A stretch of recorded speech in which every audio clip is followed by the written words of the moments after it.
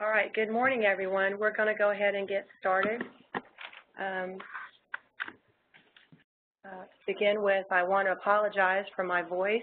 Uh, I lost it on Sunday and I haven't managed to find it, so I, I apologize for the raspiness. I hope it doesn't sound horrible in your um, in your headset.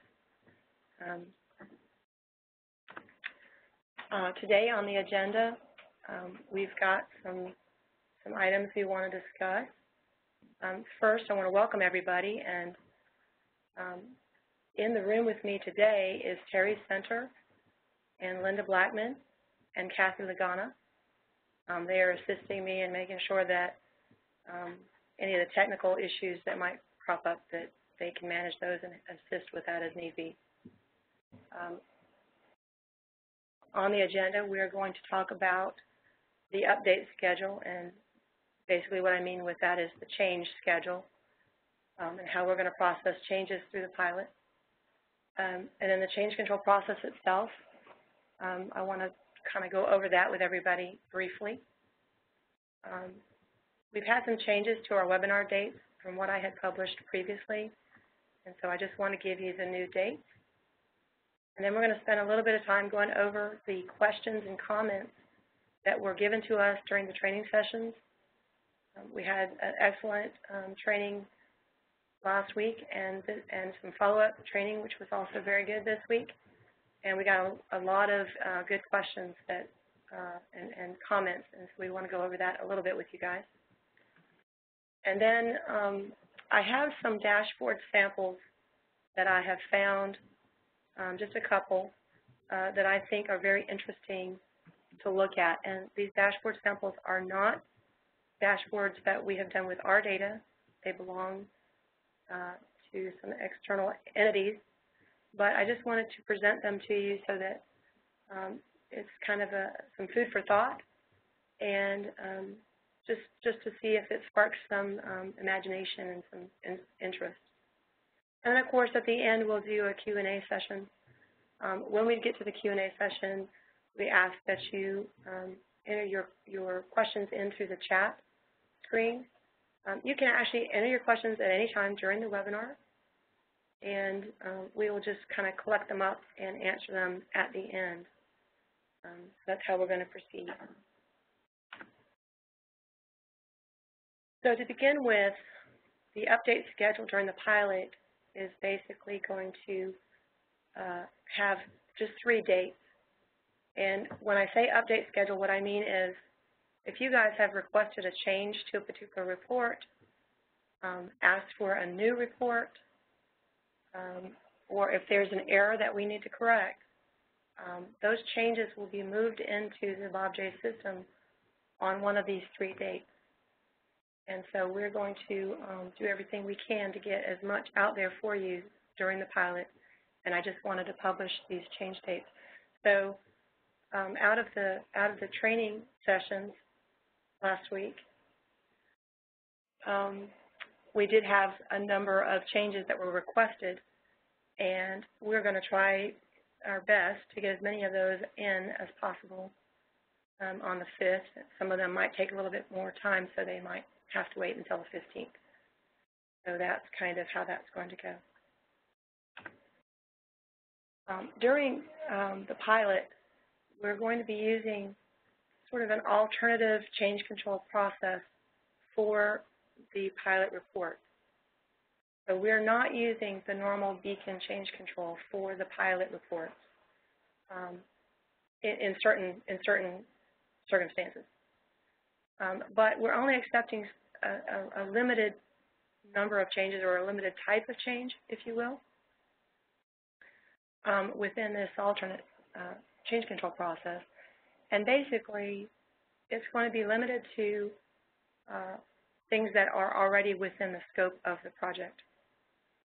So acceptable changes um, are going to be processed um, in, in, the following ways. First off, um, changes to the reports that are out there currently um, will be made if at all feasible. So depending on what the technical challenge is, um, we may or may not be able to do them, but if it's feasible, we will make the changes, any changes that you request, and of course, that, that's based on your approval. So one person may ask for a change, um, and the rest of the group really doesn't agree with that change. So it's really going to be um, majority wins um, on any kind of changes to the actual report.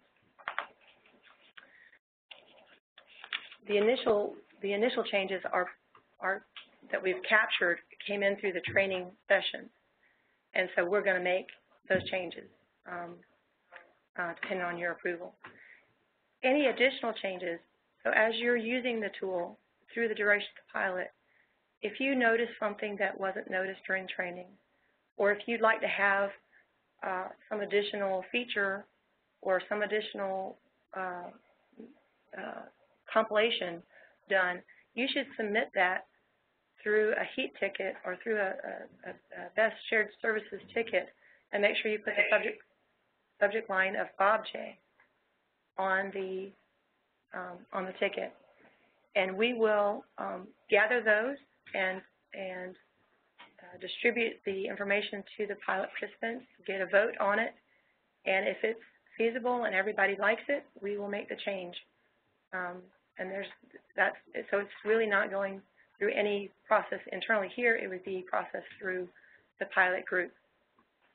Um, and then the last thing that I want to talk about is um, if so the way I see this happening is I'll probably be sending emails out with a list of what's being changed or, or at least a list of what has been requested.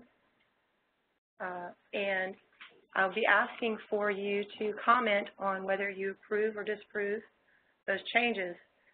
If I send the email out and nobody says anything or responds to it, then I'm going to assume everybody agrees, and I'm going to make the change.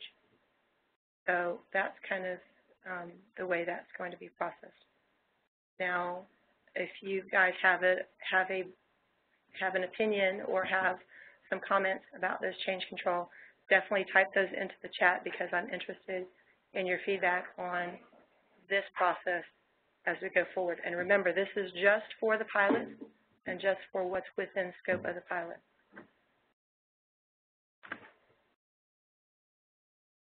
So here's some things that um, that I that are included in the pilot, just so we're clear about what does this mean. Um, we can create new reports based on those existing um, BI reports. Remember the little chart that you all have that has the nine reports that we've modeled in uh, BusinessObjects in various ways. So if there's new, a new report that you'd like to see that's based on the same data that's within those existing BI reports, we can create it as part of the pilot. Um, we can add additional functionality to any of the existing reports where it's technically feasible. I think during the training we talked about dashboard uh, quite extensively, and we talked about drill-through capabilities. So there may be uh, some, some good opportunity here to model that. And in order to do a drill-through, we would be actually creating new reports and attaching them to those dashboards. So that's an example of what I mean there. Um, changes to the existing pilot reports are, are something that we can do. So if we want to put new charts and graphs on a report, different summarizations, if we want to change the format or the, the report default layout, um, we can do all those things. We can change the prompt format and put different prompts or remove prompts um, depending on your feedback on those things.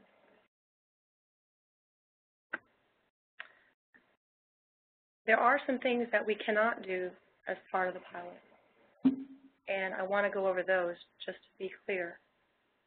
We cannot add any additional BI reports to the pilot. So if it was not selected during that initial uh, report list, it's not on that initial report list, we can't do it. Now, I, I say that, and I just want you to remember that the existing reports, if you think about them, with the B0149 report, we've pretty much got the majority of your OM in that report. And with the B0161, we've got an awful lot of your PA data. And in addition to that, we have B006, which gives you all of your action information. So between those three reports, we've got a lot of coverage across the system.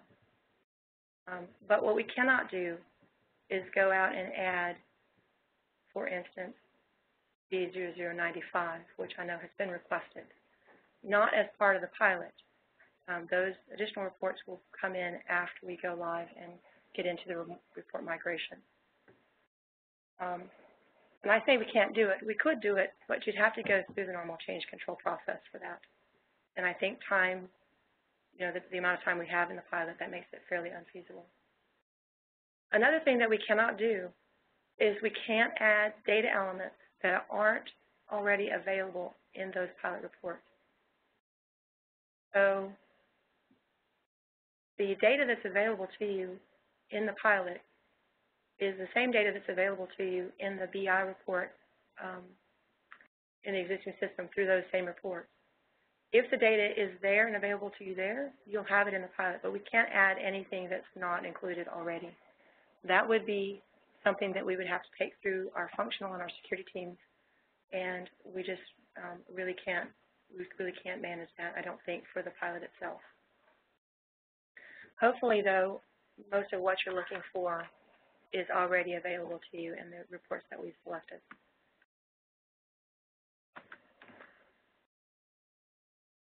Um, the webinar dates, as I mentioned before, have changed a little bit.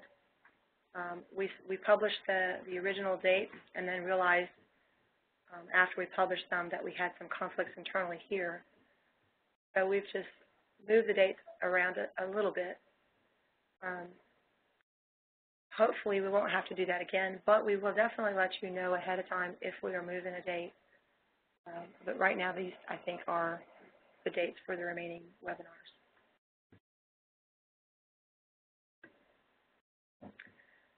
So at this point, I'm going to jump out of the presentation here, and I'm going to open up a document that has all the questions that came in as part of the training so that we can review those together.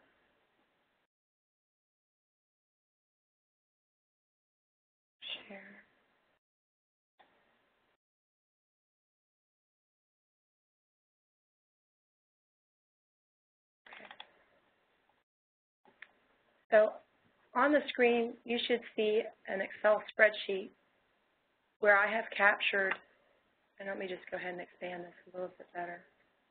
We've got a lot of space. Where I have captured um, the questions that have come in um, as part of the training. Now, I'm going to try to scroll down through this um, in a way that hopefully doesn't make you guys dizzy, but as you can see, as I scroll down through this list, there were a lot of questions and a lot of comments. Um, and we really actually are pretty happy with this because that means everybody was engaged. But we have 114, or actually 113. Let me just increase it. Does that make it better? I've had some feedback that it was hard to read. Okay. so we've gotten a lot of feedback, and we're really thrilled, actually, with this. Um, and it will take us some time to process through it. But I did take some time and try to at least take a first pass at what some of the um, the answers or the resolutions might be to some of the questions. So I'm not going to go through all 113 of these because that would take a very long time. And I'm sure you don't want to hear my voice rasping through all of this. But I do want to cover um, just the items that were brought up as changes or requested changes, um, just so that you can get a feel for um, what was asked for. So I'm going to use a little filtering technique here to go in and knock this list down a little bit. So on this file, I have listed the type of, of item it was, what the question was, and what our response is going to be. Um, so let's just start at the top. Someone asked us to add a prompt to B00, it's actually three zeros, B0006, um, so that they could select data by personal area. And so we, we are accepting that and we'll be trying to migrate that in, um, hopefully by the 5th, if not by the 15th.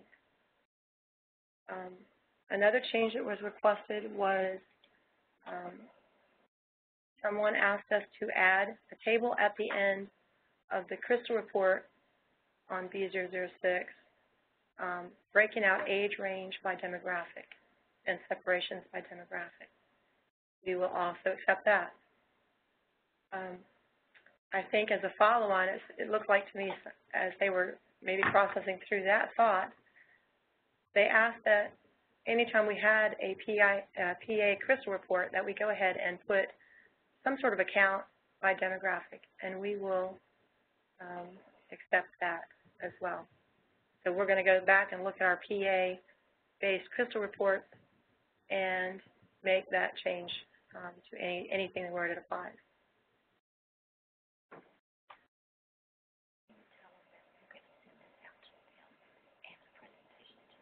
Terry, Terry just pointed out um, that you guys might have a question.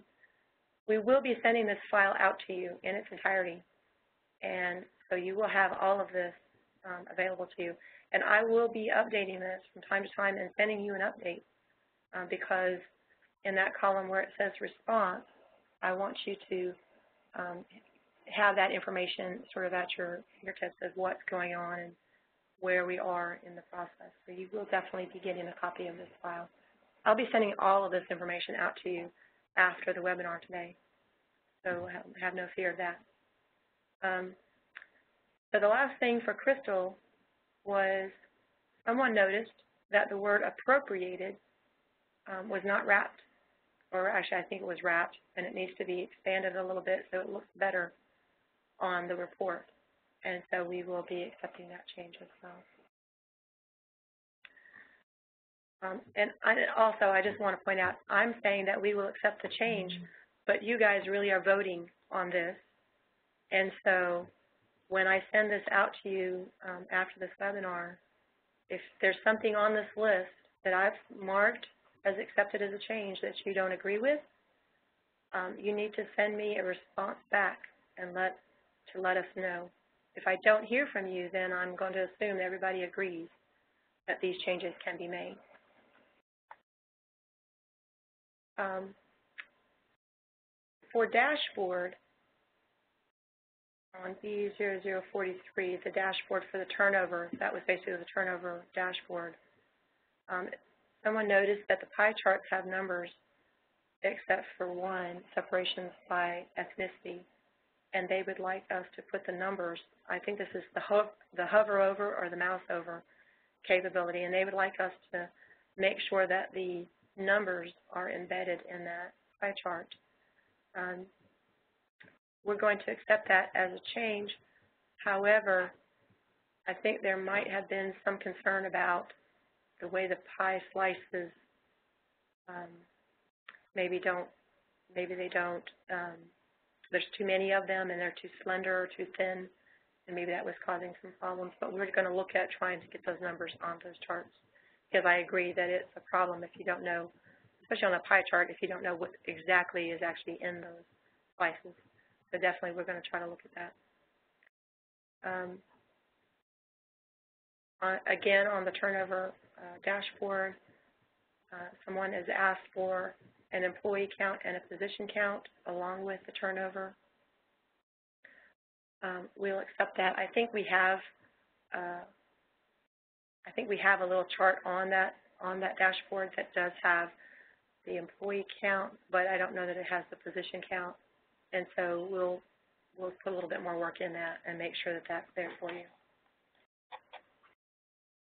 Um, someone noticed that when you hovered over the separations by age range, we uh, forgot to name the series. So it's actually defaulting to series 1, and it actually needs to say age range. And that we've got a couple of charts that we need to adjust uh, because of that. And so, yeah, that's, that's just an oversight, so we'll take care of that. Um, let me scroll back up. I think I,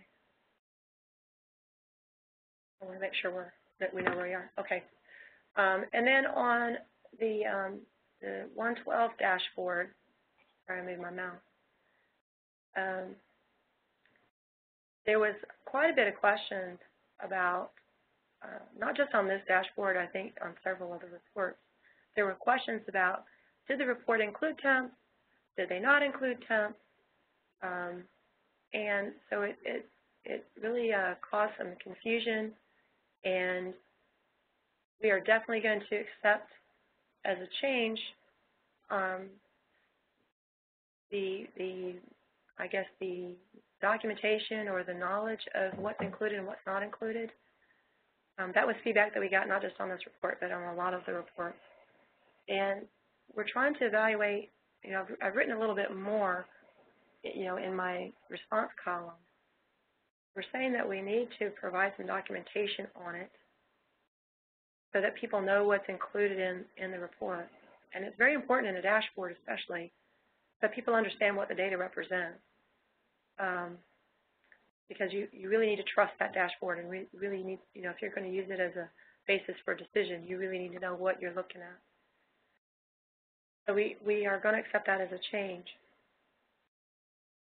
I think the easy thing to do is to actually just include a document on it so people can reference the document. But I'd like to take it a step further and try to figure out how we can provide that information clearly in the dashboard itself so that there's no question to the person who's viewing the dashboard um, what that data represents. I'm not sure how that will manifest. We'll have to look at it and, and see what kind of objects we can manipulate to provide that kind of insight. But that's definitely something um, that I'm interested in, and we'll we'll be showing that, that to you as soon as we can get it done. Um, the next item is uh, in the in the turnover dashboard. If you remember, we have a who and we have a what tab. Someone has recommended that we rename those tabs OM and PA. Um, we will accept that if that's what you'd like to call them. Um, this is definitely something that I think the pilot group should vote on and uh, and give me your feedback on that. But if I don't hear back from anybody, then we're going to be changing the who to say PA, and we're going to be changing the what to say OM.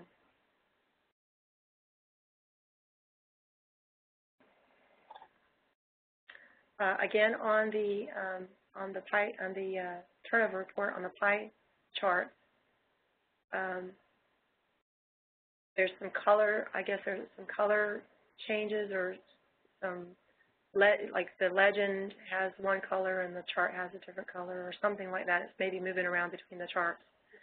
And so uh, somebody noticed that, and I think we had noticed that before. I think that's been talked about within the team a couple of times, and we've had some challenges with how to control the darn thing. It's a little wily, and uh, a little wily coyote, and it wants to do its own thing. So we will, um, we're accepting that as a change, and we are uh, we'll, we'll research and try to figure out how to how to control that better. We definitely agree it's a problem. Um, someone asked um, for a new pie chart with a breakdown by ethnicity with the separation. So I'm not totally sure I understand exactly what um, is being asked for there. Um, but we'll take a look at ethnicity um, and separations and see if we can do something more along those lines. who, whoever asked that question, if you could if you could send me an email and clarify it a little bit better for me, because I didn't really, I'm not sure I totally understand exactly what that is. We're happy to add another chart to the um, turnover dashboard, um, but I, I would really appreciate some clarity on that one. And if anybody else has an opinion, you know, certainly uh, send me a comment on that. So now we're down in the WEBI reports. And um, on the B0077, we modeled um, the sectioning capability of WEBI. And in order to model that, we just picked a couple things, and, and organization and employee group sections were what we picked. And we have a comment that um, that those are not those are not preferred sections, and that that's not really meaningful to you guys to have that broken down that way. I'm accepting that as a change, and honestly, uh, we don't feel internally here within my team that we should be putting sections at all on any of the WEBI reports because by putting the section on it, once you start doing your manipulations to it, it becomes a little unwieldy and confusing. And so sections are something that we just wanted you to know about, and so we chose to put it on that report just as a, a model.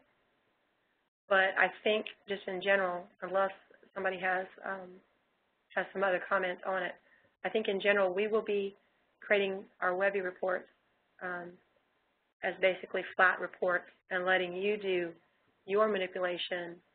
And if you want to do sections, um, you can you have the control to be able to add your own sections to any of the WEBI reports that you'd like to have. So the change that I'm accepting is we're going to actually be removing the sections from the 77 report, and it's going to be more of a flat report like the other, like the 149 and some of the other WEBI reports that we have where there's no sections embedded in it.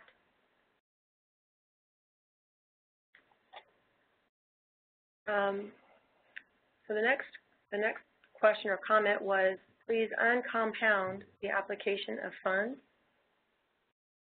And of course, it's not marked up here, but anytime we're talking about funds, we all know which report we're talking about, which is the B0149 report. And so we're going to accept that as a change. There are multiple uh, data elements that are available to you. Some are compounded and some are not compounded. Uh, honestly, um, some of you may have heard me say this before. We implemented some of these data elements as they were delivered to us from SAP.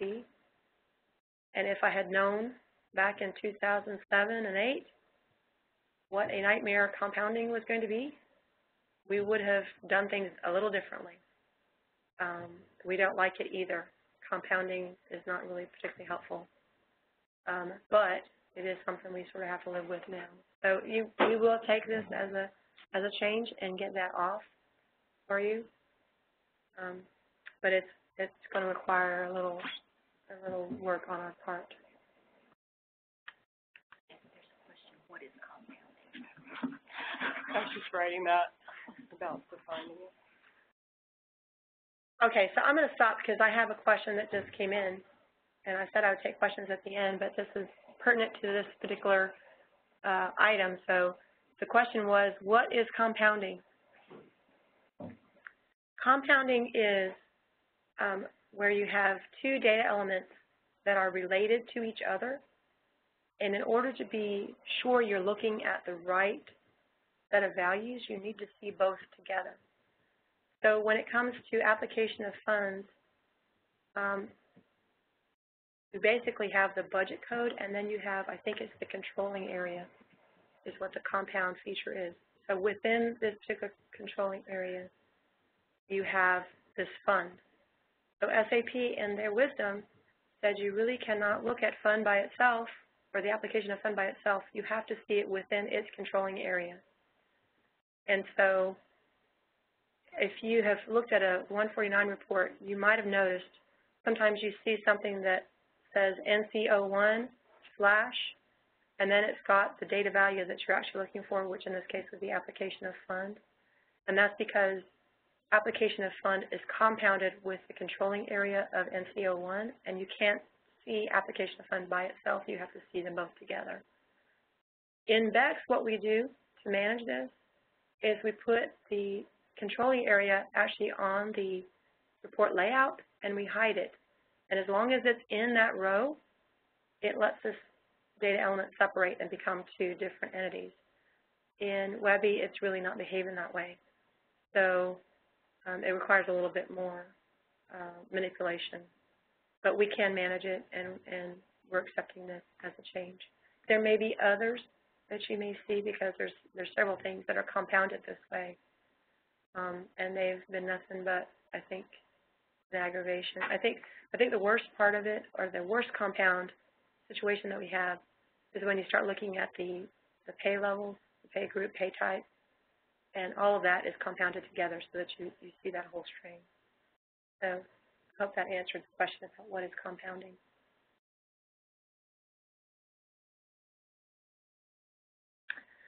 All right, on to the next question.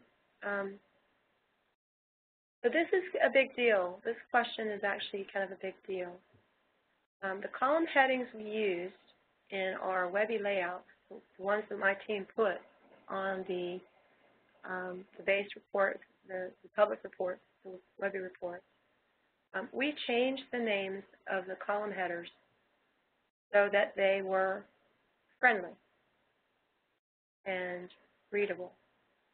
But if you drop down the list of available objects, they are not the same necessarily as what's available to you in that drop down. Um, for example, um, when we have on B0149, we change the title to say position title versus in the drop down that data element is actually listed as position hyphen medium text. So what someone has said is they would rather see position hyphen medium text in the column header than have us rename it to say position title.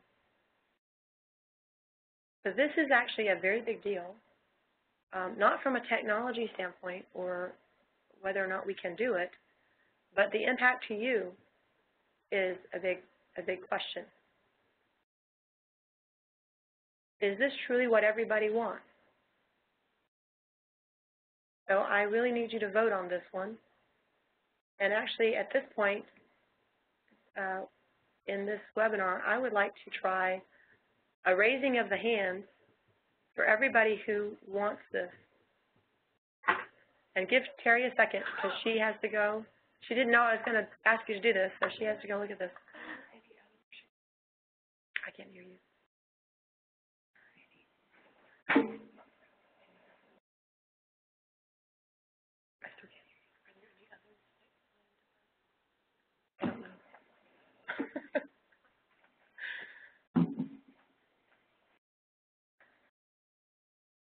So remember, you're raising your hand if you want us to accept this.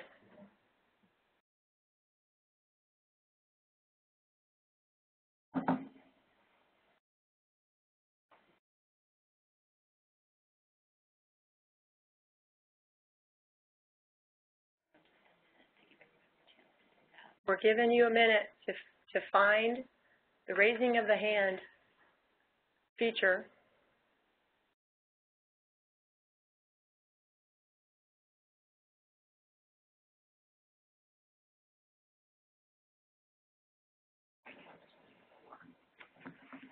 Right now we have four hands raised.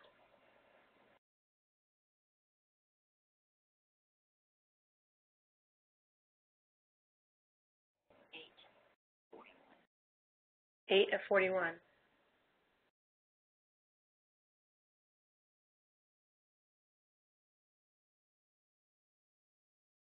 You're saying you want us to call, so it's not just the position title, we're talking about all of the columns. You want us to leave them what they are in your available objects, even if it's an ugly name.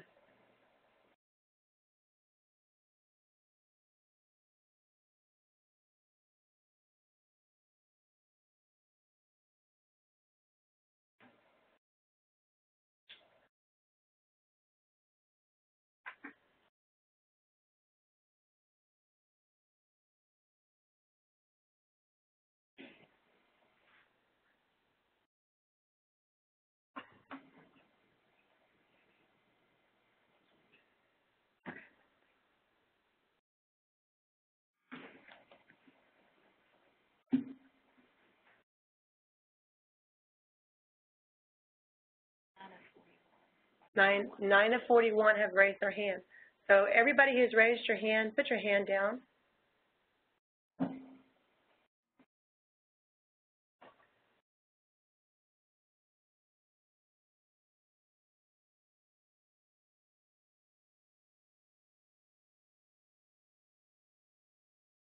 Everybody's hands down? Okay, I just want to make sure that people aren't, you know, ha- have, the reason they haven't raised their hand is because they, they, they don't want this change. So I want to test the opposite way. If you don't want us to make this change, you do not want us to accept this change, please raise your hand.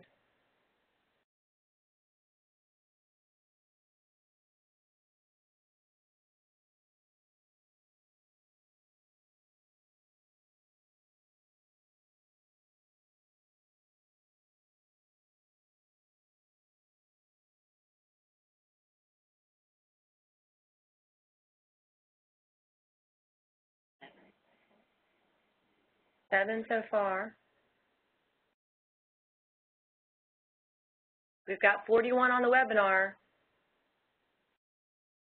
Nine.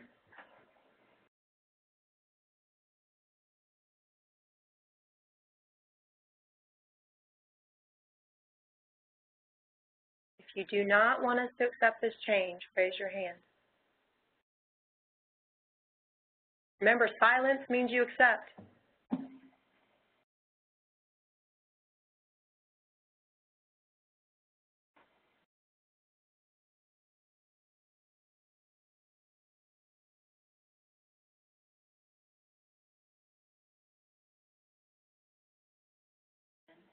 Eleven.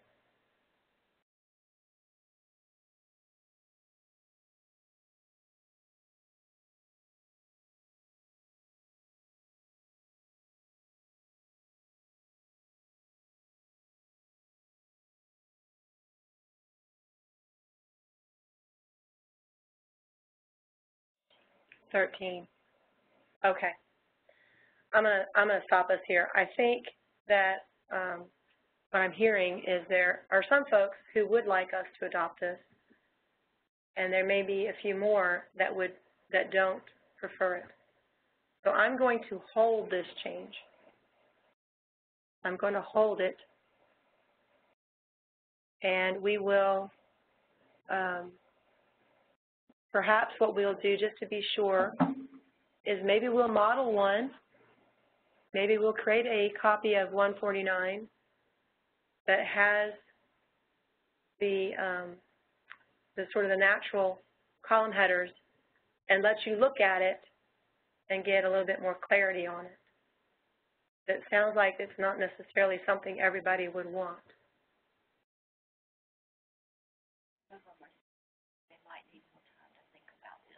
Would it help, so, so let's do the raising hand thing. Would it help if I gave you a, a, a copy of 149 I'm having trouble finding where to raise their hands. and people are having trouble raising their hands? Okay.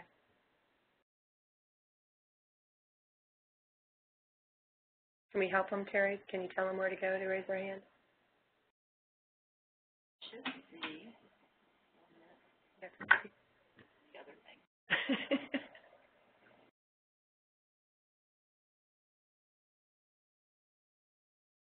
go to the top, if you go to the top of your screen and click on participants, then you'll see your name listed.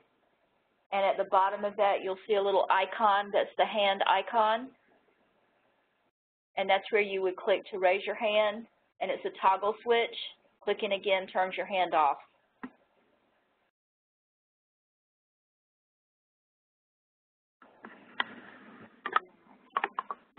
Right now, so right now, my last question was, would it help if we created a copy of B0149 so that you could see what this might look like if we did accept this change? Would you like to see that? So raise your hand if you'd like to see that.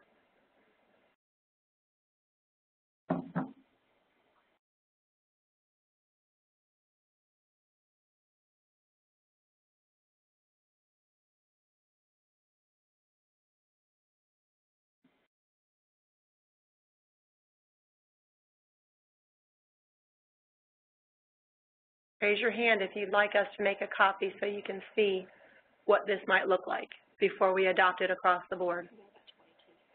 All right, we're at 22, so there's a good there's a good acceptance of that. So I'm going to put this on hold as far as accepting it as a change to the um, as far as accepting as a change to all of our WEBI reports, but I'm going to um, ask my team to make a copy for you so you can get a look at it. And we'll try to get that out on that January 5th um, change date so that you can look at it then. All right, and then the last thing, so you guys can all put your hands down now. Um, the last thing that I have on the list of changes was um, the help folder. So I think that um, this came up as a question, and we talked about it in one of the training rooms on one of the days, and I'm not sure we shared this with everybody, so I just um, do want to go over this with, with everybody. We are going to be creating a new folder um, in the BOBJ portal itself, or the BOBJ system itself, under Launchpad, under that public uh, folder space. It's going to be named with an underscore help. And we're doing it that way so it will force it to sort to the top of your, of your folder list. And inside of that folder, we are going to put all of our training materials, all of our tutorials, um, any uh, frequently asked questions. Um, I know I talked to a few folks about our idea of recording like mini um, videos of how to do specific tasks with perhaps WEBI. Anything that we, we come across that we think would be helpful to you, we're going to place in that help folder and it will be right there on the Launchpad um, uh, system and available to you. So we hope that'll make it um, easy for you to access, um, easy for you to find. One thing that's nice about it is that your search will also search this help folder, so you'll be able to find documents that might be related to the reports, um, tie it all together that way. So that's the other change. I'm going to go ahead and expand this list back out.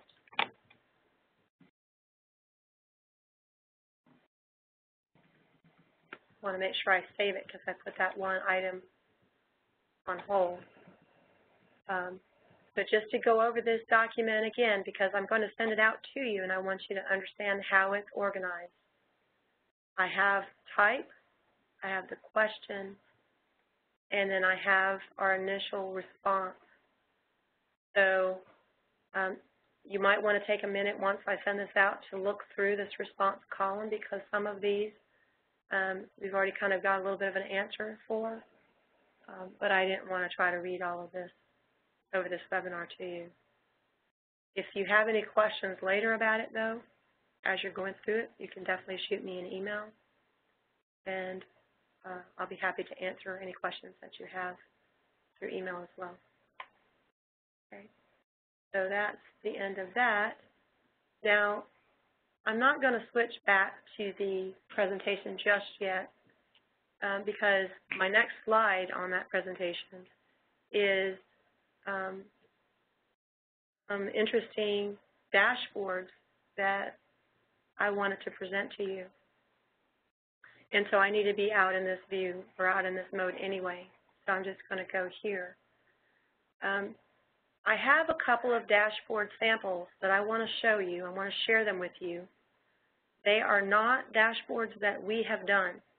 These are dashboards that I found um, by using Google and looking for examples of things other people had done.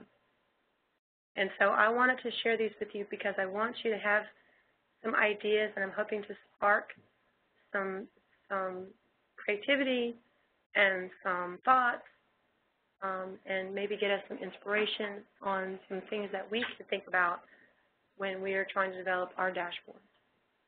So the first one is uh, one that I found on SAP's website. A company had put this together. And I'm going to go ahead and click on it. I hope that you can see it. Let me see if I can make this a little bigger. I don't know if it'll help. Did I go the wrong way? All right, that's not helping. Is it? Hopefully you guys can see it. It's a little busy. It's a little shocking when you first look at it. So this is an HR dashboard that was developed by a particular company. Um, it's got a huge amount of information in it, and it takes a second for your eyes to adjust to it and sort of take it in. Um, I'm going to try to walk us through it just a little bit. Um, at the top, they have a, a little gauge that's talking about their employee engagement, and it's basically measuring how engaged their employees are. In the middle, they're representing their different divisions with a little graphic.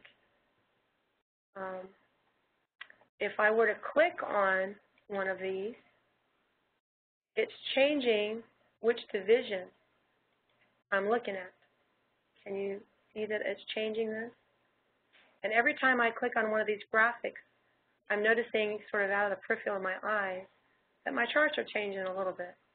So all of these charts are tied to this central control at the top. I have a key job turnover gauge. I have a, a employee count. Basically, this is the number of employees. If I go to the beginning here, I can see how many employees total, and it's over a series of years. As I go down through the dashboard, I've got these sections. And the first section is key talent process, processes and supply resources. Now this is something that would mean something um, to this particular company. Supply resources would be something they would be looking at. But inside of that, they're measuring their open positions. And they have these little uh, indicators to indicate where they are now in relation to where they have been. So when I'm looking at this and it says it's yellow and it's, and it's got a red downward uh, arrow, what it means is I'm not I'm I'm not going I'm not less, but I am not in a forward movement, and it's trending down. So the down arrow is saying I'm trending down. So you can be looking across here, you can be in a yellow state, meaning that I'm sort of flat, but trending up. So that's the, that's the information this dashboard is giving you. So, and it's giving me the actual percentage of open positions, which would be vacant positions. If I click on this, this is doing that drill through technique that I was telling you about. And now it's going to give me more information about my open positions. Um, and as you can see, there's some good information here, and it's giving me that information across uh, time frame. It's giving me that information across the different um, the different uh, divisions. It looks like to me here. Okay. So I will send you the link to this, so don't worry about trying to understand or look at every bit of this right now. I will send you this link so you can look at it yourself.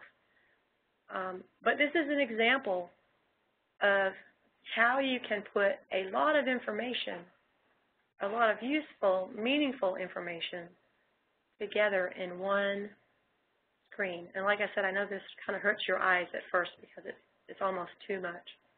And I'm not sure we want to do anything quite like this, but it is um, it is a very, very powerful dashboard. If if we had a dashboard like this, um, then you'd have you'd have a lot of information here available to you at one at one time.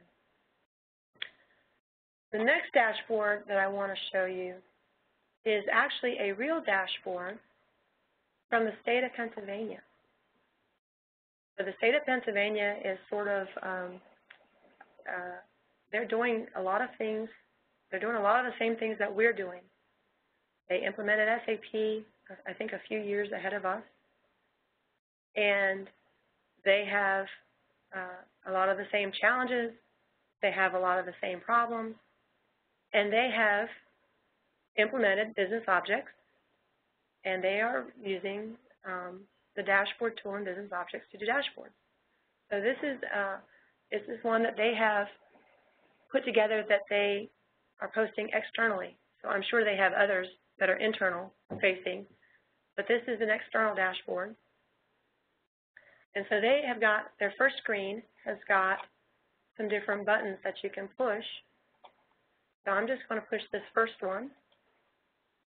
And this is an example of a drill through. They're using that first dashboard as a menuing dashboard, and it drills through to a different dashboard behind the scenes. So here's a little chart. They start out with total employment, part-time and full-time, salary, and wage employees. So they've broken down their salary versus wage employees by year.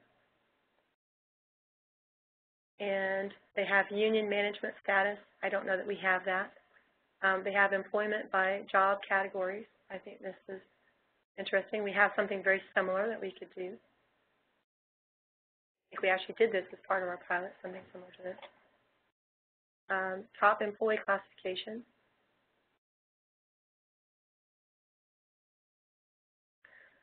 So they've got some different um, some different options here. Um, this is just another way to get back to that initial screen. So I'm going to click on Agency Complement. Um, I'm not familiar with the terminology of agency complement, so I'm not really sure what they mean by that. But basically, they've got some agency stats in here. And I know this is really hard to read. At least it is on my overhead. I hope it's better or easier for you to read at your desk. If it's not, don't worry, because I will send you the link to this, and you can look at it yourself, and it'll be better if you're not looking at it through the webinar software. Um, but basically, they have employment by agency, so they've got their agencies broken down, and they've got civil service, non-civil service. So you can see that's a little different. We don't really, yeah, we don't really do it quite like that, but um, this is just a, a concept that I wanted to share with you of things that we might do. Now this I thought was very interesting. I kind of like the way they laid this chart out where they actually have, by their agencies, they have the number of separations and the number of hires. And so you see they've lost, you know, down here, I think is that transportation, I can barely read it. They've lost 681, but they've gained 361. So ideally, you'd want to see these two sides the same. If they lost them, they gained them. Um, so I think this is actually a, a kind of an interesting um, chart. So I just wanted to share with you um, some ideas. You can look through this. Um, the leave usage chart I think is interesting as well. Um, I think this is very interesting. Um, they're saying average leave, leave usage in days by agency, and they're breaking it down by the leave type. So each one of these bars has different color sections. Overall, this agency has used 43 days, or their, their employees are using 43 days, but it's broken down into these different types. Sick leave, personal leave, holiday, other. I think this is a very interesting chart. Um, and like I said, this is an external facing um, dashboard.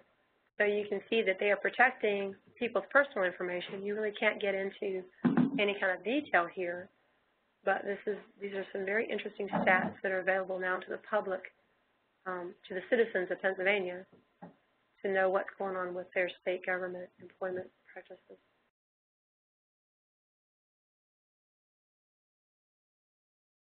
All right. Um, with that, this is pretty much the end of uh, what I wanted to cover today. And so, um, we talked about training, we talked about the interesting dashboards. So now we're down into the question and answer session. Um, I don't know if you guys had any questions. Uh, Terry, I've answered and responded to the majority of them.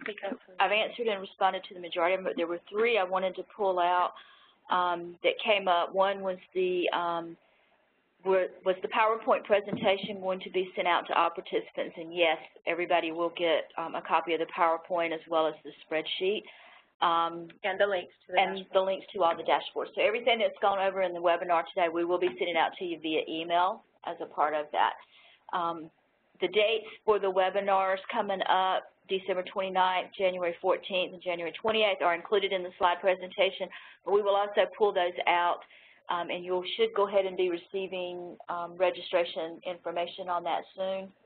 Um, first part of uh, next week, maybe Monday, and then you can go ahead and get registered for all of those, so you've got them on your calendar as a part of that as well.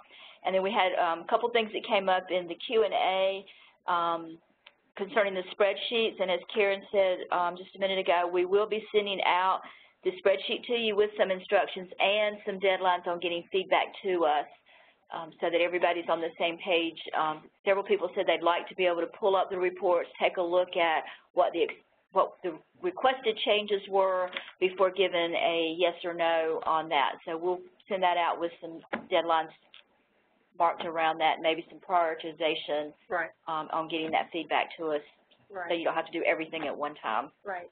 on that part of it. Right.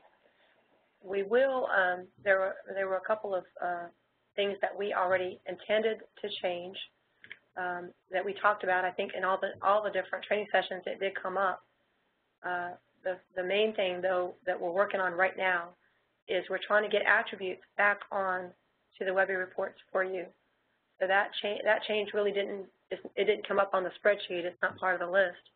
But we are, um, we're working on that change. So that's definitely something, that's, that's my main target for the January 5th uh, change window is to get those attributes back on the WEBI reports. Um, the remainder of those changes, uh, depending on your feedback, we, we may or may not make that window.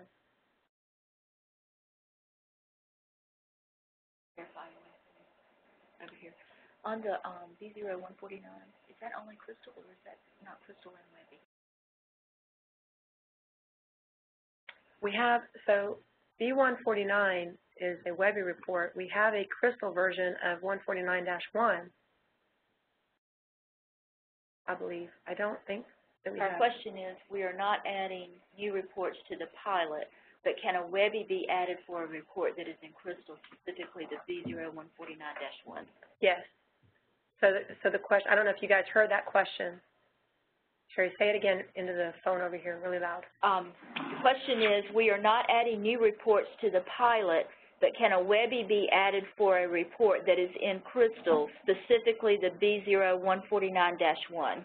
And the answer is yes. If we have a report that is in the pilot already, regardless of its existing format, and you want to see it in a different format, yes, we can do that. We can also create new reports based on what the existing report looks like. So for instance, if you guys remember my little challenge um, at the end of your training on, on WEBI, where we did a job report, an average salary, that kind of thing. If you, if you can get the report out of an existing report, we can go ahead and model that as well. And we can model it in whatever format you want. As long as, the, main thing is, as long as the data is available to you in one of those reports, if it's there, we can build a new report based on it. But what we can't do is add new data that wasn't already published to business objects. Are there any other questions?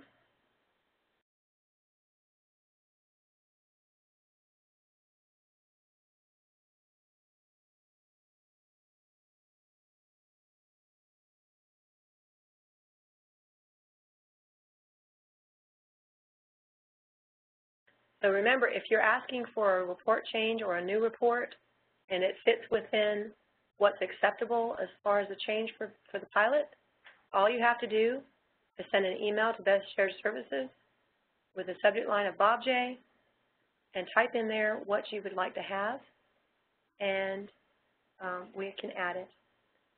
I think that, um, I don't think anybody would complain about a new report. I think that people might be concerned if you want to change an existing report. So if it's a new report, we'll probably just go ahead and do it.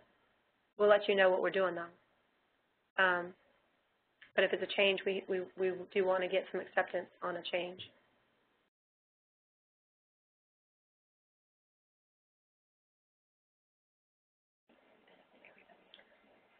Um, another thing that just came up is I want to remind you that if you have created something that you think is very interesting and would be of interest to others, please send me um, an email or send me a BEST ticket.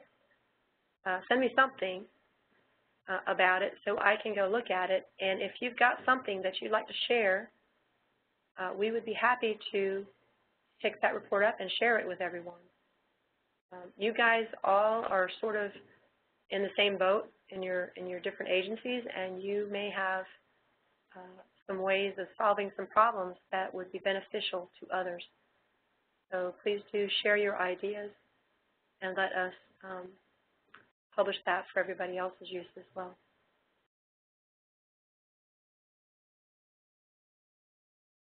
Are there any other questions?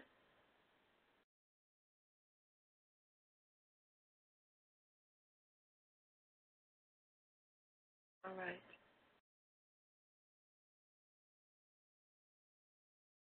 It looks like there's no more questions.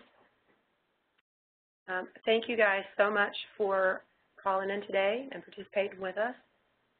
I hope you have a Merry Christmas, a wonderful Christmas holiday, and I look forward to uh, talking to you again real soon on the changes that are coming through and our experiences with the business object system. Thank you.